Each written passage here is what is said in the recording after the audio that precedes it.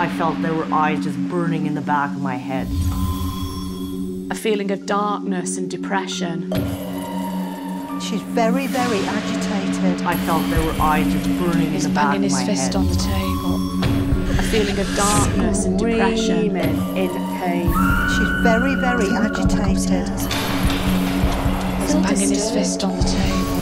What was that?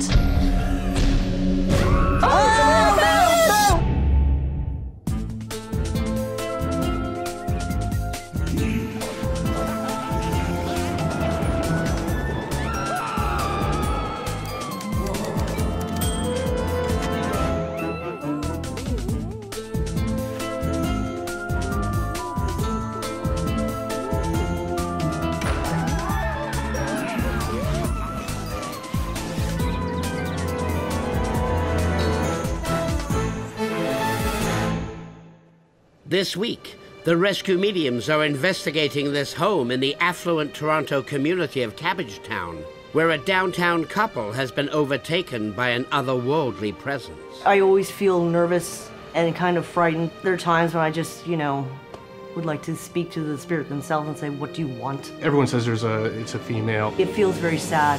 I think it's a very sad person. I've woken up in the middle of the night and someone snapped me out of my sleep. It was just just like a noise, like just boom. Eager to help the residents, the rescue mediums are pulled to investigate.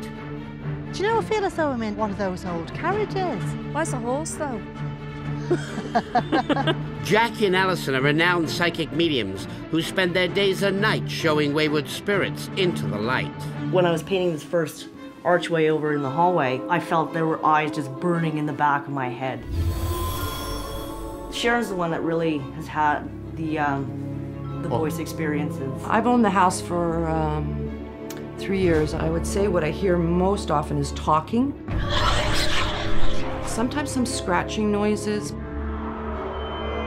The rescue mediums have been given no prior knowledge of their destination. Well, I don't know where we're going today, Al.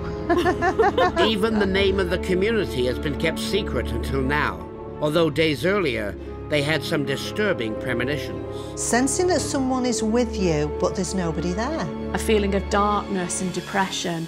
Yes. I generally feel very uncomfortable in here. There's a lot of just depression. It, it just circulates in this room.